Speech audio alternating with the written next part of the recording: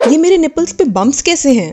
आज तक तो कभी ब्रेस्ट पे बाल नहीं थे, फिर सडनली अभी क्यों आ गए हैं? क्या करूँ यार ब्रा पहनूं या नहीं? इतना टाइट टाइट लग रहा है। आई एम श्योर ऐसे बहुत सारे क्वेश्चन आपके दिमाग में आते होंगे और आपने गूगल भी किए होंगे। But let me tell you that you not alone there is so much variation when it comes to breast and nipples in terms of their look shape texture size and colour that you must have wondered at least once whether or not yours are normal let see what are the most frequently आज question and answer them First इज़ Why are my nipples dark in color? ये सबसे common query है, जो ज़्यादातर Indian women के दिमाग में होती है, कि मेरे निपल्स का कलर डार्क क्यों है? पिंक क्यों नहीं है? तो सबसे पहले तो you should know that nipples come in different colours ranging from pale pink to black the colour depends on your complexion and your ethnic background Indian skin tone के हिसाब से मोस्ट ऑफ़ द वुमेन इधर have dark or light brown nipples the colour of your nipples also change with age as does it size This is absolutely normal and you should not listen to anybody telling otherwise. Next is why does the shape of my breasts keep on changing?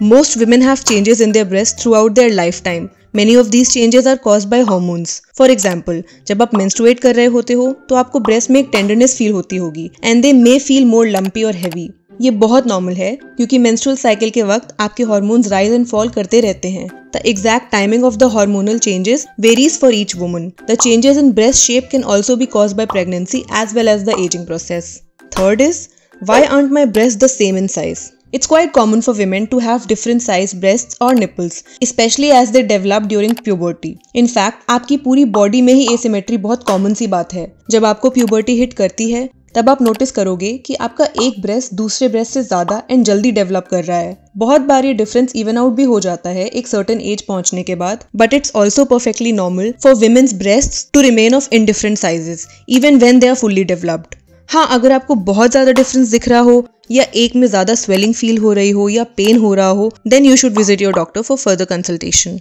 next is why is there dryness on my breast and nipples अगर आप dehydrated हो या फिर winters हैं तो आपके breast पे बहुत इजीली ड्राइनेस हो सकती है especially to people who have extremely dry skin you can simply avoid it by applying a mild lotion or oil on it which is unscented कभी कभी आपके निपल्स भी ड्राई एंड निची हो सकते हैं but most of the times they are harmless और temporary जो pregnancy या ब्रेस्ट फीडिंग से भी हो जाते हैं. या फिर अगर आपके ब्रा का टेक्सचर रफ है तो वो आपके निपल से रब होकर फ्रिक्शन क्रिएट कर सकता है and can cause nipple chafing you can avoid this by ensuring that you are wearing the right bra next is will my breast sag if I don't wear a bra yes bra is definitely essential जब आप workout करने जा रहे हो but what about when you're just sitting at home on endless Zoom conference calls and binge watching your favourite series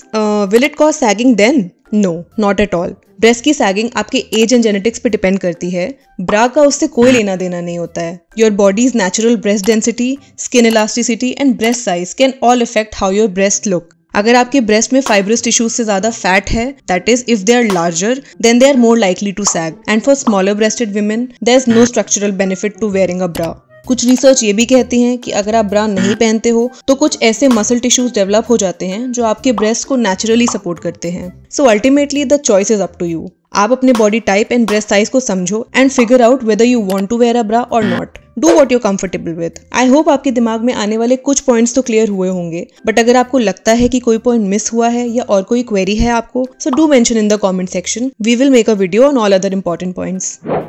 Subscribe to our YouTube channel and hit the bell icon so that you don't miss any videos by us.